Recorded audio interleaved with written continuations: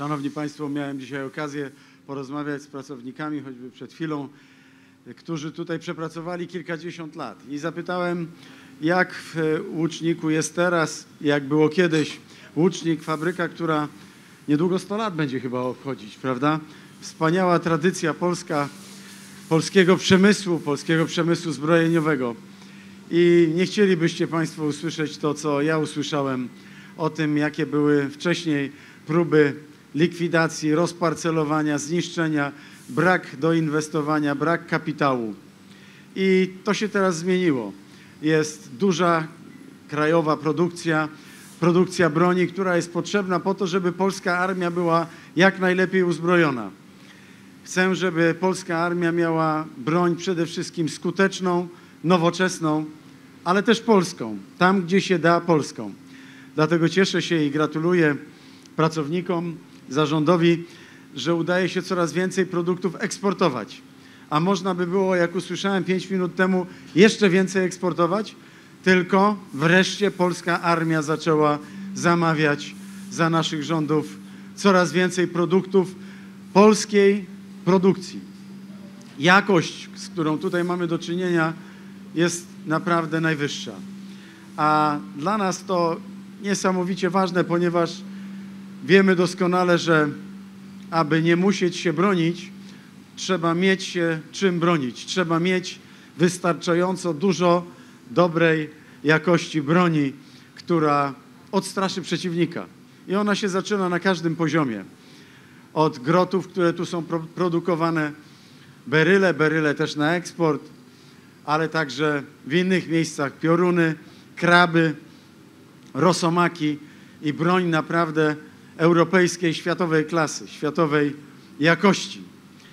To jest to zespolenie ze sobą kilku obszarów życia gospodarczego, społecznego, inwestycyjnego w taki sposób, aby z jednej strony produkcji było jak najwięcej w Polsce, z drugiej strony, żeby tu był odbiorca, ale także, żeby dzięki temu była lokalna praca, żeby było jak najwięcej tej pracy, bo wtedy jak praca szuka człowieka, to wynagrodzenia rosną również, a o to nam chodzi, żeby wynagrodzenia także rosły jak najszybciej, razem z konkurencyjnością, z produktywnością polskiego przemysłu.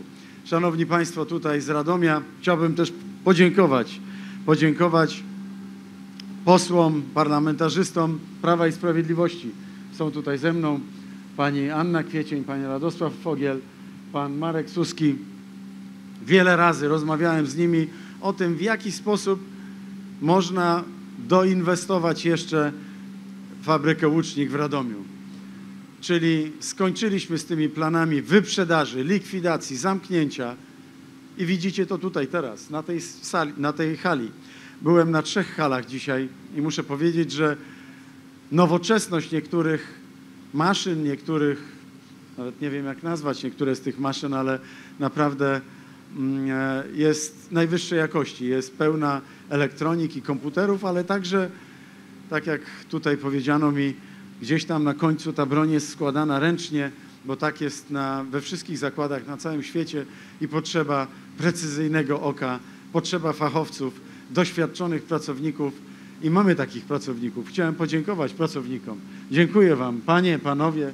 Naprawdę wspaniała rzecz to, że mamy takich fachowców w Polsce, którzy, którzy po prostu e, potrafią produkować broń europejskiej i światowej klasy.